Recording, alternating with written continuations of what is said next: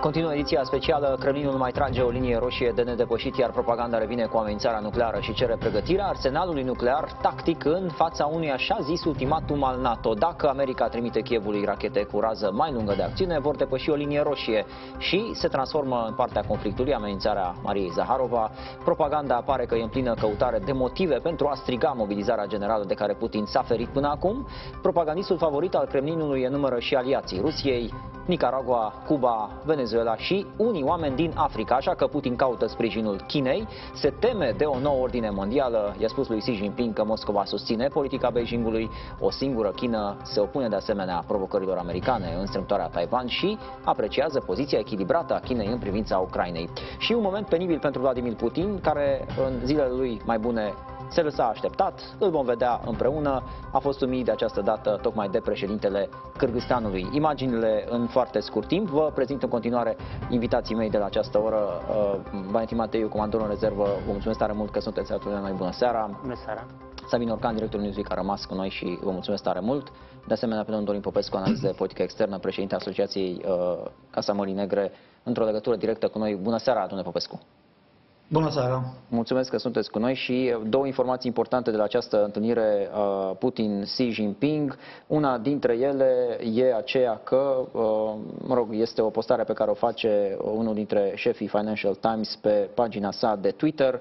Vladimir Putin îi spune lui Xi Jinping că Rusia înțelege întrebările și îngrijorările pe care China le-ar avea cu privire la această invazie în Ucraina și uh, un fost ambasador al Americii la Moscova, editorialist Washington Post, spune că e remarcabil, după această întâlnire, practic, Vladimir Putin nu a obținut nimic. Nu arme, nu muniție, nu chipuri de care avea atât de multă nevoie, doar o dorință uh, din partea Chinei de a cumpăra energie ieftină. Rapid o tur de masă vis-a-vis -vis de această întâlnire uh, de la, dintre Xi Jinping și uh, Vladimir Putin. Uh, domnule Sandu Valentin Matei, încep cu dumneavoastră. Relevanța momentului, relevanța acestui, uh, acestei întâlniri, mai ales că pare că nu au obținut nu știu ce mare lucru din... Cred la discursul lui uh, Vladimir Putin, care a lăudat poziția echilibrată a Chinei, dar a introdus și partea aceea, știu că aveți întrebări și îngrijorări. Uh-huh. Ceea ce înseamnă că sunt întrebări și îngrijorări la care trebuie să răspundă lung Xi. Uh, a ridicat în zlăvi uh, ordinea internațională uh, multipolară, vechea temă, care trebuie să bazeze pe unul și pe respectarea dreptului internațional, care nu prea a fost respectat când a fost invadată Ucraina. În clipa de față, Vladimir Putin este într-o poziție dificilă armata sa nu este într-o poziție de lăudat în războiul din Ucraina, ca să fiu elegant.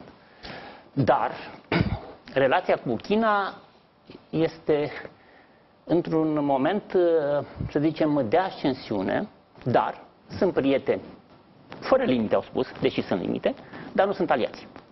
China nu va risca să încalce sancțiunile, pentru că ochii sunt pe Statele Unite relația economică cu Statele Unite este de importantă încât, da, va exista sprijin politic, inclusiv în formatul acum de la Shanghai, la um, G20, la um, BRICS, dar nu va exista un angajament al Chinei care să afecteze ceea ce o interesează mai mult, uh, relațiile economice. Da, va profita foarte mult de energia ieftină, a cumpărat petrol acum, mm.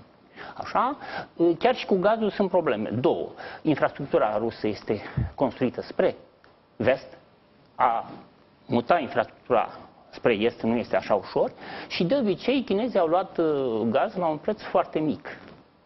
Așa că sunt foarte multe întrebări. Aș vrea să mai dau un singur lucru, uh, dincolo de faptul că Rusia se pronunță pentru o, China, o singură China, tot se pronunță pentru asta, inclusiv Statele Unite. Dar avem protocolul 6 puncte și precizările ulterioare ale Statelor Unite privind poziția față de uh, Taiwan și Taiwan. China, în sensul în care reunificarea nu se face prin forță. Uh, dar uh, interesant este că domnul Xi s-a întâlnit uh, ieri cu președintele Kazahstanului, căruia a promis sprijin pentru respectarea suveranității, independenței, integrității teritoriale. Împotriva cui? Pentru că Kazahstanul are o singură amenințare, o minoritate rusă în nord. Obține? A obținut? Se duce acasă Vladimir Putin după această întâlnire cu ce, domnul Orcan?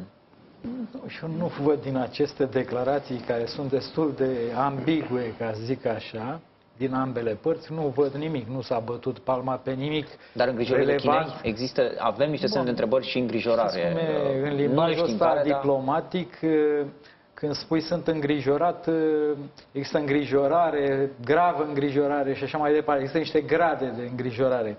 Eu vreau să vă propun altă, alt unghi de abordare. Uh, Dom'le, acest club, uh, acesta este un club al dictatorilor orientali.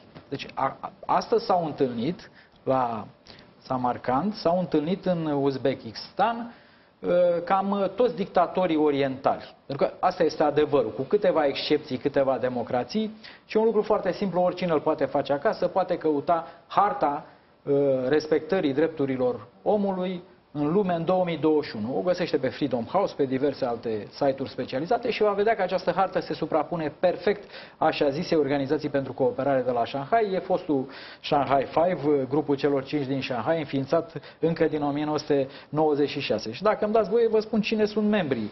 Membrii plini, ca zic așa, China, care e o dictatură comunistă și nu-și închipe nimeni că nu are lucruri în comun această dictatură cu Rusia lui Putin. Rusia, care are o autocrație deja, merge spre dictatură cu pași repezi. Uh, Putin e dinaintea lui Xi Jinping, e din 1999 la conducerea Rusiei într-un fel sau altul. Uzbekistan, țara gazdă, care este la fel o autocrație, este acolo un domn uh, Mirzioev, care e președinte din 2016, dar până în 2016 a fost premier din 2003, un fel de Putin așa. Uh, Tajikistan, care e o dictatură în toată regula, unde este Emomali Rahmon, președinte din 1994, unul dintre cei mai vechi lideri de stat din zona aia de lume.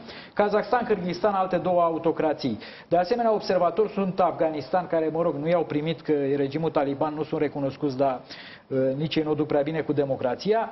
Dictatura lui Lukashenko din Belarus, uh, teocrația din Iran cu Ali Khamenei, lider suprem din 1989 și cam ăștia sunt. Și sunt niște parteneri de dialog, iarăși uh, Erdogan din Turcia, Ilham Aliyev din Azerbaijan și el de până 2003 și Cambodgia, care e condusă din 1985 de un prim-ministru, deși este o monarhie, e de fapt o de dictatură condusă de un general uh, Hun Sen din 1985. Adică ideea asta că acolo s-au întâlnit și se formează o nouă ordine globală, pe mine mă irită puțin pentru că ordinea asta globală trebuie formată pe baza unor principii, unui set de reguli despre care vorbea domnul comandor uh, mai devreme și aceste state nu prea le respectă, cel puțin în privința uh, Ucrainei. E clar că nu le respectă. Uh, China, dacă ar fi corectă, nu s-ar declara neutră, ci ar avea îngrijorări mai ferme la adresa lui Putin.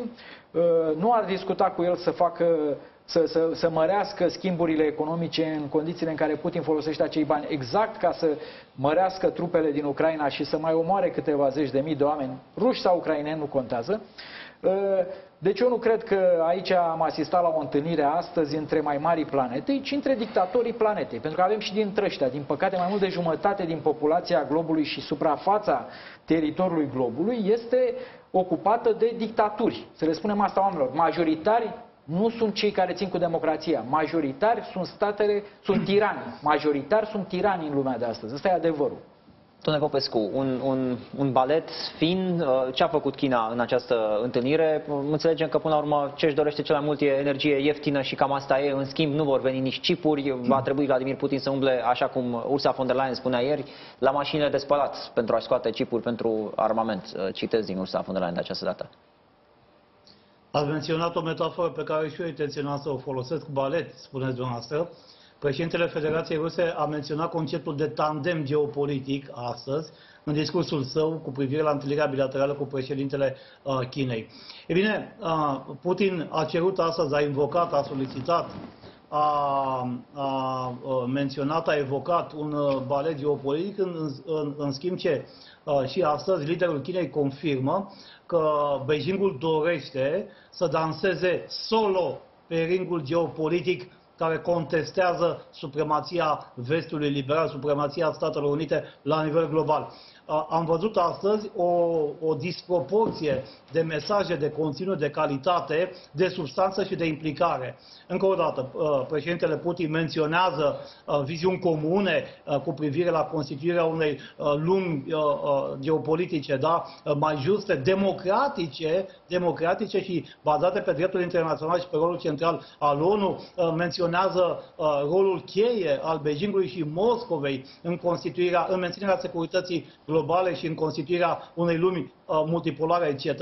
În schimb ce, cu o răceală vizibilă și evidentă, cu un conținut extrem de redus, ci extrem de modest din punctul de vedere al implicării, președintele Chinei spune că își dorește o relație mai bună cu Federația Rusă. Deci, încă o dată, uh, președintele Federației Ruse uh, uh, este, în momentul de față, nu are niciun fel de ieșire, el cerșește o, o colaborare strategică pentru, pentru consolidarea coeziunii anti-americane a Beijingului și a, și a Moscovei, iar Beijingul simte, știe vede că, indiferent cum, a, cum va arăta noua ordine uh, uh, uh, mondială, rolul geopolitic al Federației Ruse în această nouă ordine mondială va fi mult mai mic.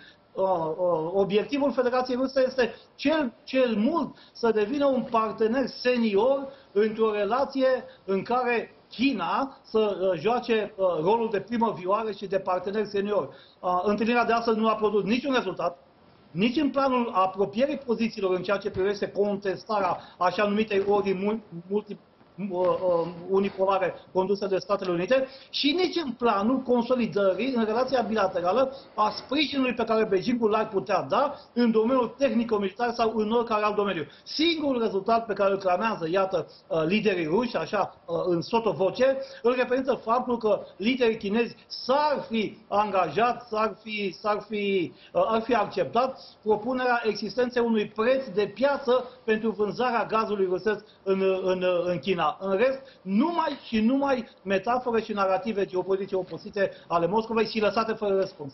Vă rog, domnule. Pot să spun ceva foarte repede. Apropo și de ce spune domnul Popescu și de ce spuneam și eu. Băi, știți cum e cu lumea asta multipolară? Adică, ideea asta, în lumea asta sunt hoți și oameni cinstiți. Ideea că faci o lume multipolară, în care există o lume a hoților, pentru că asta ă, a demonstrat Rusia, nu? Asta demonstrează Erdogan uh, băgând la închisoare zeci de mii de oameni, inclusiv jurnaliști, scriitori și așa mai departe. Asta demonstrează China cu lagările forțate uh, unde sunt închiși uigurii și alte minorități, nu mai spun de opozanți politici, uh, asasinate și așa mai departe. A spune că vom avea o lume multipolară e greșit. Nu e o lume multipolară. Există un club al dictatorilor cărora le repugnă ideea de a respecta granițele, de a respecta tratatele internaționale, Uh, care au recunoscute Ucrainei cu semnătura Rusiei uh, de a respecta un, uh, un arbitru internațional care ar trebui să fie ONU și așa mai departe. Nu. Avem niște oameni care nu respectă regulile, s-au strâns în acest club și avem marile puteri care încearcă, pe cât posibil, să mențină vie flacăra luptei ucrainenilor Uh, împotriva unei ocupații nedrepte. Domnule Comandor, China, în modul în care a jucat această poveste, probabil acum la șase luni uh, încearcă să și reevalueze dacă a făcut-o bine sau nu. A avut de mai degrabă de câștigat, mai degrabă de pierdut? Putea să o facă altfel în această perioadă? China a făcut această poziție așa din neutră poziția de... Beijingului, eu cred că a jucat foarte bine, în sensul următor. Este puterea emergentă, va contesta mai devreme sau mai târziu ordinea mondială, să vedem cum. Momentan merge din interior, este cea care a câștigat aproape din uh, orice integrare uh, internațională și din relațiile cu Statele Unite, care e competitor, nu este declarat adversar al vestului.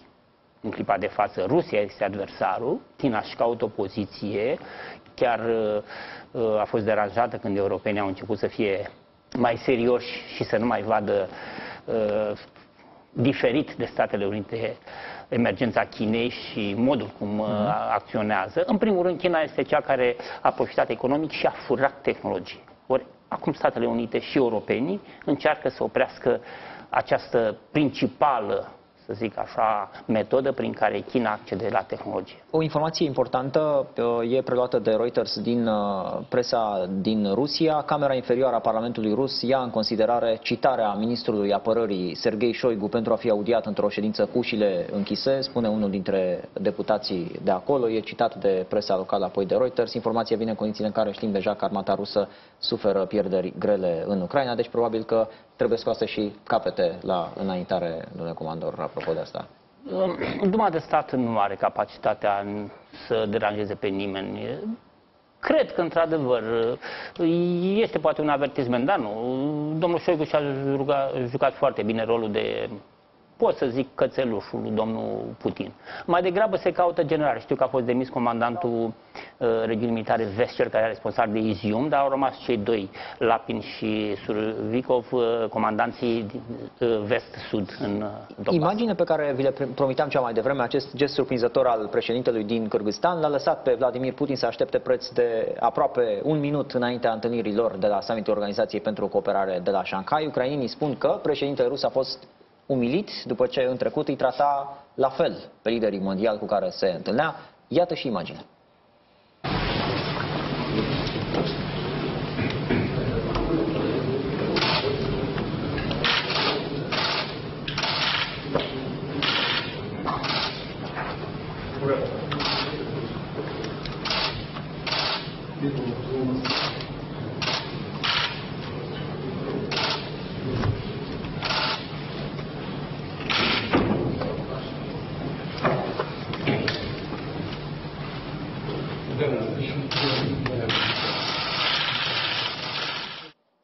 Aș aminti că nu este primul incident de acest fel. Luna iulie, la Teheran, președintele tur Recep Erdogan lăsa pe liderul rus să aștepte timp de vreo 50 de secunde, tot așa spre uh, un minut înainte să înceapă discuție despre exportul de cereale ucrainene. Domnule Popescu, cum e această întoarcere, nu? A, a, Vladimir Putin care își permitea altă dată să facă liderii mondiali să aștepte după el.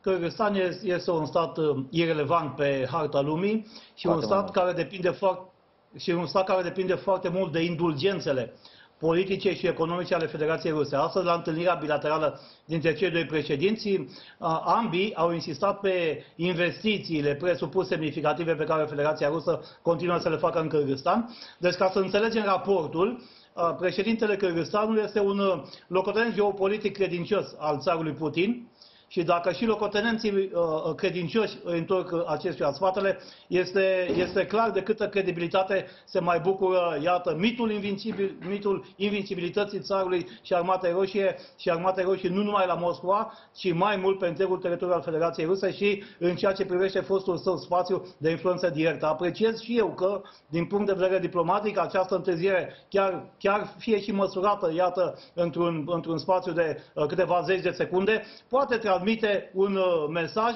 cu privire la întreruperea acestei paradigme de vasalitate absolută în care s-au complocât până acum o serie din liderii din fostul uh, uh, spațiu sovietic și cu precădere cei din Asia Centrală. Da, pe Vladimir Putin ați mai văzut atât de zâmbitor și atât de jovial, primind uh, uh, strângeri de mână din partea liderului cârgâz, de exemplu, uh, al un, un stat nu foarte important, așa cum descriați.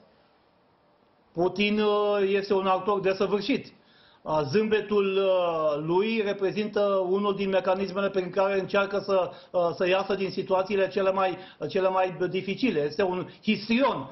Zâmbetul său însă am văzut același tip de zâmbet și când Erdogan l-a bătut prietenește pe spate, aducându-i aminte, în urmă cu o lună, o lună și jumătate, da? Cine începe să fie stăpân într-o regiune în care Federația Rusă, stăpânul de odinioară, pierde teren, etc., este un zâmbet care ascunde conștiința, conștiința căderii într-o micime pe care Federația Rusă nu a mai cunoscut-o de mult și există toate premizele că această destructurare fundamentală a rolului geopolitic al Federației Ruse în lume va continua, va continua vertiginos și va continua accelerat. Iar Putin simte acel lucru și simte această primejdie. Este, este un zâmbet sub care se ascunde uh, uriașa deprimare a faptului că Rusia uh, își atinge, iată, uh, obiectivele contrare și a dorit să conteste în mod direct o nouă ordine globală și uh, este aproape martora unei ordini globale cu o Rusie uh, geopolitică mult mai modestă, aproape pusă la colț. Temperatura aceasta, domnul Orcan, pe care o ia Vladimir Putin în aceste mici întâlniri cu lideri altminteri, uh, cum foarte bine descria domnul Popescu, foști locotenenți sau locotenenți de acestuia,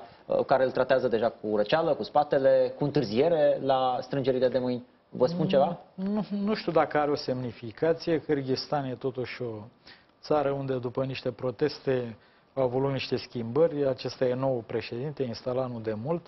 Uh, și sigur că e o țară mică, uh, dar să nu uităm, e o țară musulmană, în proporție de 80-90%. Uh, are graniță și cu China, apropiată și de China. dar sigur în concepția ideologică nu a Kremlinului orice republică din fostele republici socialiste poate fi oricând revendicată, nu? Că așa ne-a spus pe stadion domnul Putin, vă aduceți aminte? Pe stadion, cu aplauze frumos, el a spus că de unde se întinde Uniunea Sovietică, de colo până acolo și el poate emite pretenții asupra oricărei foste republici uh, sovietice. Dar uh, e clar o uh, relație, cum a foarte bine a prezentat domnul Popescu, de uh, cum să spun eu, vasalitate acolo. Kyrgyzstanul nu e o țară puternică care să-l înfrunte pe uh, Putin și are interese să-și păstreze acest, această relație în continuare. Dar vreau să spun ceva despre acest lucru cu, cu China. Domne, să schimbă lucrurile și în opinia publică. O majoritate dintre americani, de pildă, citeam un sondaj, peste 45%, consideră că primul adversar al, făcut anul ăsta, deci după începerea războiului din Ucraina, principalul adversar al Americii este China și nu Rusia. Uh, doi, există și diferențe în politica atât a administrației, mai puțin, dar mai mult în politica celor două partide care uh, se succedă la putere în Statele Unite, republican și democrat, în ceea ce privește uh, principala amenințare strategică la adresa Statelor Unite uh, și să spunem că foarte mulți republicani, dar și câțiva de diplomați uh, și câțiva congresmeni democrați consideră că totuși China e principalul adversar pe termen lung, chiar dacă pe termen scurt este această provocare uh, din Ucraina.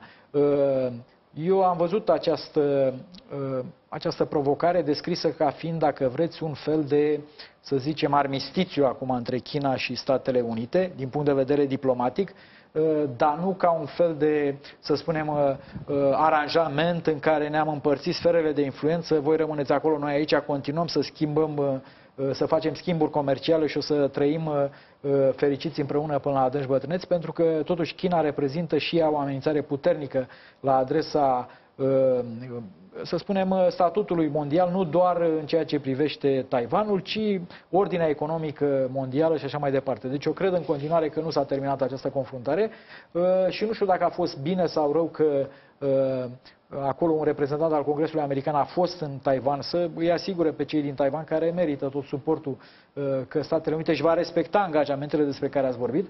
Uh, dar uh, nu cred că uh, regimul Partidului Comunist Chinez va risca în acest moment, să spunem, o alianță fățișă cu Putin în ceea ce privește războiul și alte probleme. Eu cred că e mai, de, mai degrabă așa o discuție amicală, continuă schimburile economice între ele, cresc schimburile economice între ele, dar nu cred că se va ajunge la un ajutor masiv din partea Chinei acordat Uh, Rusiei lui Putin, care se află în dificultate și economică, chiar dacă mulți încearcă să ascundă asta, foarte mulți analiști occidentali vorbesc despre faptul că au început să scârție unele lucruri în Rusia lui Putin din punct de vedere economic, uh, al uh, rezervelor valutare, al lichidităților și așa mai departe. Deci eu cred că în continuare, dacă China nu schimbă acest status quo, Rusia Uh, nu poate duce la nesfârșit acest război uh, din Ucraina. Imediat despre așa zisele linii roșii, despre uh, alte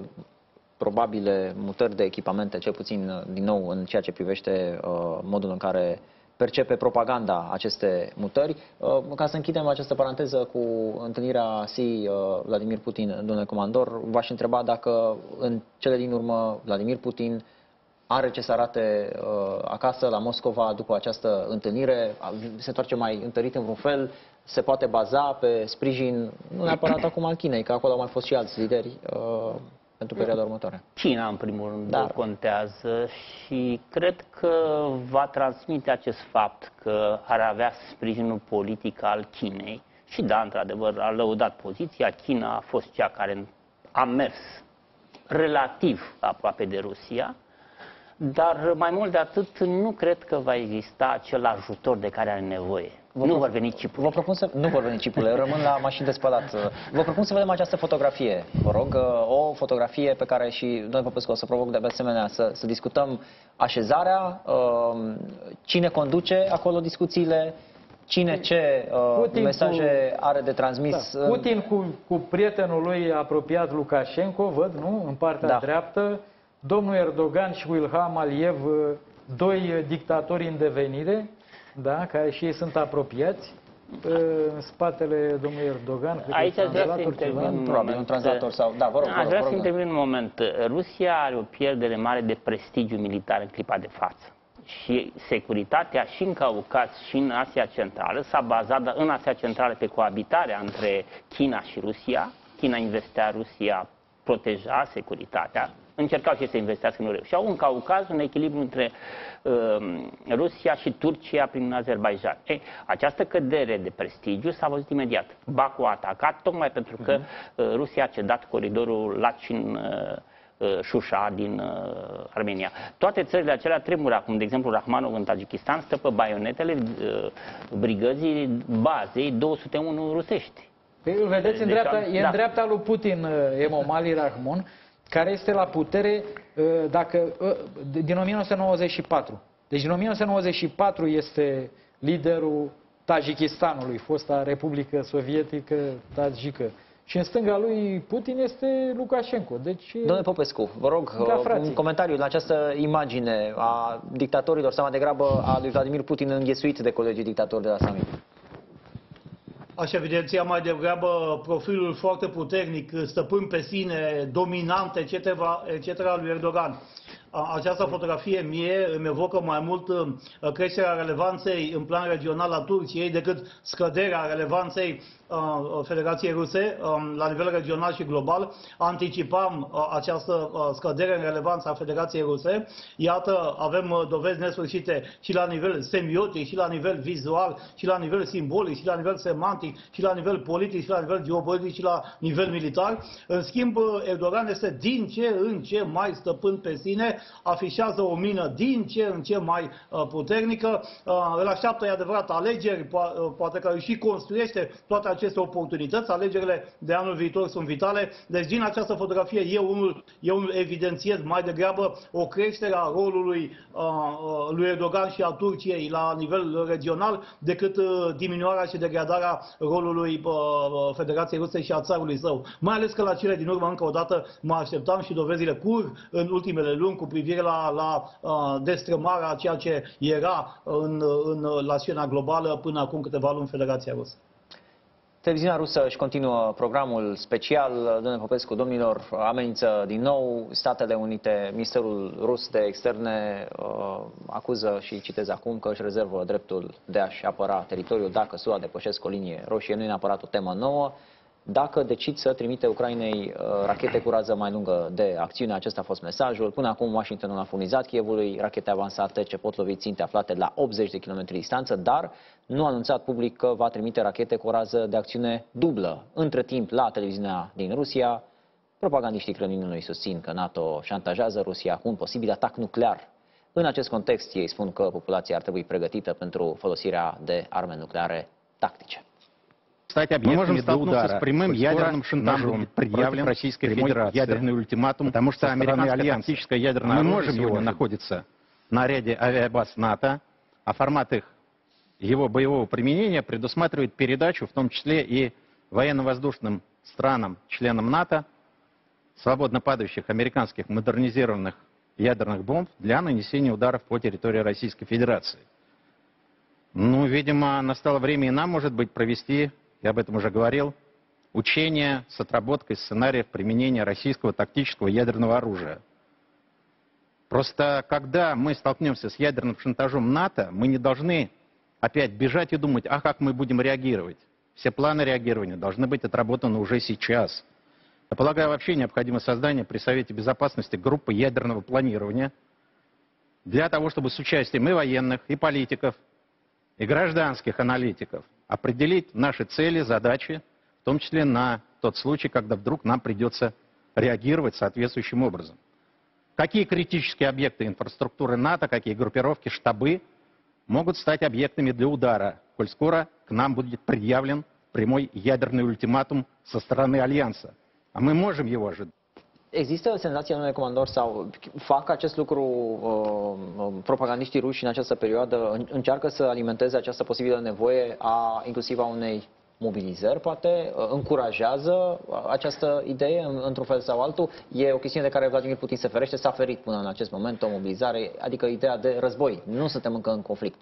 Mobilizarea generală pentru moment este exclusă, chiar uh, purtătorul de cuvânt al Kremlinului a spus că nu figurează în agenda și cred că nu figurează pentru că Vladimir Putin evită să aducă războiul acasă. Uh-huh. Rușii încă nu știu că țara este în război, chiar dacă au murit 50.000 de soldați și poate au 50.000 de răniți.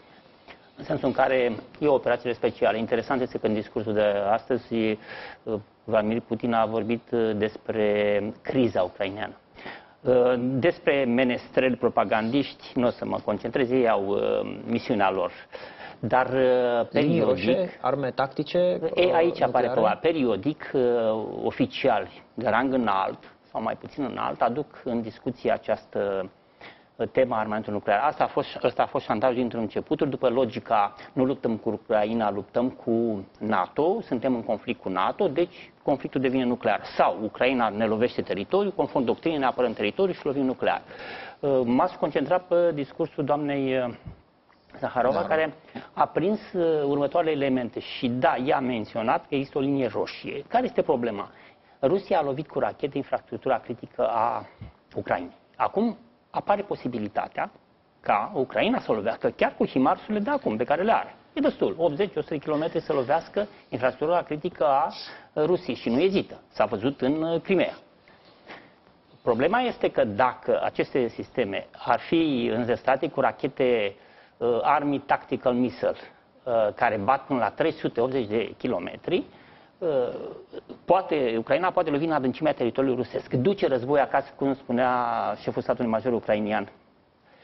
Uh, în discursul Zaharovei apare, apar următoarele elemente. Mai întâi linia roșie, în momentul în care se vor livra aceste rachete, că despre asta este uh-huh. vorba, către Ucraina se trece o linie roșie, Statele Unite, Statele Unite devin parte în conflict, următoarea etapă este vom reacționa adecvat acestei situații, deci ai ridică problema și cum, așa vom folosi toate mijloacele pentru a apăra teritoriul rusesc, deci deja aduce în discuție, pentru că com, în conformitate cu doctrina rusă, da, dacă Rusia se află într-o situație în care este afectată existența integritatea teritorială, poate fi lovitura nucleară. Dar este interesant faptul că uh, pentru a da substanță acestei amenințări, aduce în discuție un fals, a spus un adevăr, a zis uh, livrarea acestor rachete către Ucraina echivalează cu dislocarea de rachete cu rază intermediară și scurtă de acțiune pe teritoriul statului europene, exact ceea ce era interzis prin INF. Interesant este că Rusia a încălcat INF-ul, aducând de calibru pe uscat racheta SC-8.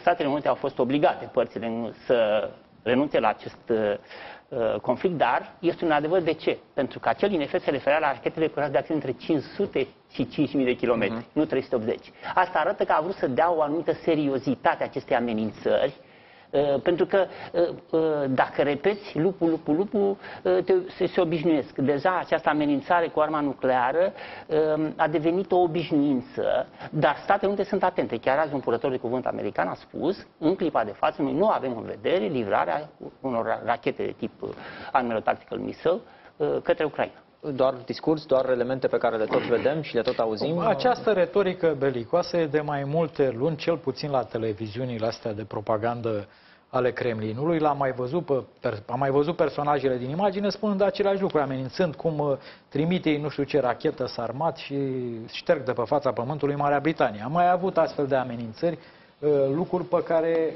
care nu se întâmplă în nicio țară civilizată. Nu se discută la vreun post de televiziune serios din vreo țară occidentală despre cum să tragem rachetele și să ștergem Moscova de, de pe fața pământului. Pentru că în democrații lucrurile astea există lucruri despre care nu se vorbește. Aceste arme sunt uh, făcute ca să nu fie folosite niciodată, că al minteri uh, o să vină apocalipsa mai repede decât ne așteptăm. Dar în legătură cu uh, Ucraina. Ucraina sigur că a lovit în uh, Crimea, dar Crimea este a Ucrainei. Chiar dacă e ocupată de ruși. Din punct de vedere al teritoriului, Ucraina nu a făcut niciun gest greșit, nu a atacat teritoriul Federației Ruse și a, uh, a atacat uh, armata rusă pe teritoriul ei, ea fiind țara invadată. Adică ce să facă Ucraina? Trebuie să lupte, să atace în Donetsk, dacă poate să atace în uh, Crimea, pentru că scopul declarat al administrației de la Kiev este clar eliberarea țării de invadator, eliberarea totală, a spus-o Zelenski de câteva ori, răspicat chiar în urma discuțiilor cu uh, liderii occidentali care i-au cerut să ajungă la un compromis, a spus nu, ținta finală a administrației acum, în acest moment, a administrației de la Kiev este, înainte de orice negociere este eliberarea țării de ocupantul rus. Asta înseamnă și Crimea, pentru că din punct de vedere internațional aparține Ucrainei, ea nu a aparținut niciodată uh, uh, Rusiei uh, de la tratatul semnat în anii 90. Prin urmare, uh, ce să facă Ucraina? Trebuie să atace armata rusă acolo unde se află. Eu nu cred că uh, liderii de la Kiev uh, sunt naivi, mai ales că ei colaborează îndeaproape, inclusiv din punct de vedere militar. În această ofensivă în care toată lumea știa că se duc în sud și s-au dus în nord, uh, și am aflat după că a fost un succes această contraofensivă, ei au colaborat îndeaproape cu serviciile de informații occidentale, cu militari occidentali, din punct de vedere al consilierii Uh, ce arme să folosească, care ar fi cea mai bună strategie. Eu sunt convins că nu vor lua o decizie unilaterală, punând în pericol relația lor cu Occidentul, care le trimite arme și ajutoare, să atace pe teritoriul Federației Ruse. Aș vrea aici să fac o mențiune. Chiar acum două zile a fost, uh, au fost lovite sau o zi, a fost lovit uh, ținte în Rostov, încă nu este clar ceva. De asemenea, ucrainenii au lovit cu elicoptere la Belgorod, în mhm. Rusia. Dar au tot dreptul. Rusia are o reacție ciudată de genul uh, atunci când ne loviși pe teritoriul nostru, sunt, este o acțiune teroristă. N-am înțeles. Tu poți să-mi distrugi țara, iar eu nu am dreptul să lovesc bazele tale. Deci nu, uh, ucrainenii vor fi calculați, exact cum a spus. Nu sunt calculați, dar vor lovi până îi vor obișnui cu aceste lovituri. Dar nu, dar nu au atacat în niciun caz, toate aceste incidente au fost în zone militare, au fost nu, gândite, nu, nu au atacat civil. zone civile, Nimic. așa cum au făcut nu. rușii de la începutul acestei invazii, atacând uh, nediscriminatoriu ținte civile, da. blocuri de locuințe și așa mai departe. Domnule Popescu, despre această linie roșie pe care o comunică Maria Zaharova. Moscova în momentul de față gândește mai multe soluții pentru îndeplinirea obiectivelor într-o conjunctură tragică pentru armata sa pe teritoriul Ucrainei, este cert. Aici divin și o discuție în ceea ce spun propagandiștii și enunță aici doar, într-adevăr, subscriu și eu ideii că acești propagandiști au rolul de a menține în spațiul public o insistență pe așa numita opțiune excesivă. Opțiune excesivă propagandiștii. Și acum să vedem dacă opțiunea excesivă intră în scenariul de calcul al autorităților. Și aici e, e nevoie de o foarte mică analiză pe ceea ce uh, declară uh, doamna Maria Zaharova. Ideea este că numai dacă armata rusă va, uh, va avea înfrângeri colosale, catastrofice pe front, dacă va fi împinsă către teritoriul Federației Ruse, dacă va exista riscul iminent al căderii, al zgâlțirii, al căderii tronului de președinte al, al, uh, al lui Vladimir Putin, urmarea insucceselor militare, politice și geopolitice de pe teritoriul Ucrainei, numai în acest caz autoritățile Federației Ruse ar putea să se gândească la activarea unei, opți unei opțiuni relativ radicale uh, care să includă utilizarea unei sau unor lovituri nucleare tactice pe teritoriul Ucrainei și atunci de bună seamă că ar putea face asta printr-o provocare sub stag fals, uh, prin, prin organizarea uh, unor lovituri cu rachete presupus ucrainene pe teritoriul Federației Ruse, nu Crimea, etc. Numai că acest scenariu este extrem de îndepărtat, în momentul de față acest scenariu este, este redus. Dar numai în, în, în cazul unui scenariu catastrofic militar pentru Federația Rusă și cu iminenta cădere a, a tronului, a jilțului prezidențial al lui Putin, numai în acest caz autoritățile ruse uh, pot avea în vedere o opțiune excesivă care să includă utilizarea unei lovituri nucleare tactice. Și, și domnule Popescu, spuneți-mi dacă e corectă evaluarea. Simțiți, există în acest moment o oareșcare uh, latență, poate liniște în, în conflict? Sigur, au fost lovite niște niște ținte civile, infrastructură critică, aseară uh, și alaltă seară baraje și așa mai departe. Uh, se pregătește ceva? Rusia pregătește ceva? Ucraina pregătește ceva în aceste ore? Poate mai mult Ambele Ucraina sau e linia pe care trebuie să o păstreze în acest moment? Nu, există o oarecare acalmie firească, ambele părți pregătesc ceva. Uh, Ucraina pregătește o nouă surpriză, uh, o nouă surprindere tactică. Este foarte greu de pregătit, este foarte greu de realizat o surprindere tactică de nivelul și amploarea celei care uh, a, a reușit în, în Harkov.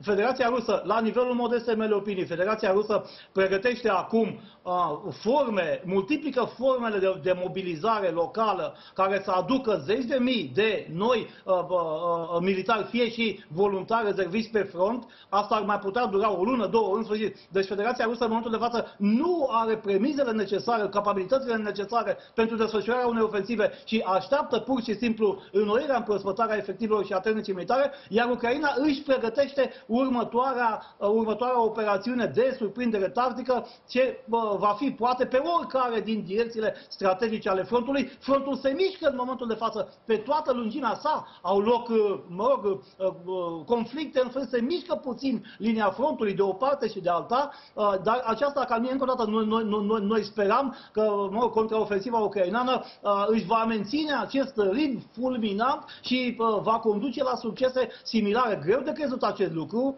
deci Ucraina, în, în modesta mea opinie, Ucraina își pregătește cu grijă uh, următoarea, uh, următoarea uh, operațiune de rupere a frontului uh, și mizează pe o, o surprindere tacti- uh, tactică similară celei care a condus la succesele din uh, regiunea Harkov, iar Federația Rusă așteaptă să se uh, îndeplinească procedura aceasta de uh, mobilizare uh, locală a rezerviștilor, uh, astfel încât să aducă noi forțe proaspete în teritoriu. Vă mulțumesc tare mult, domnule, vă mulțumesc tare mult pentru această analiză, pentru prezența la Digi24 în această seară. Știrile serii urmează cu Mircea Ivan. Pe curând!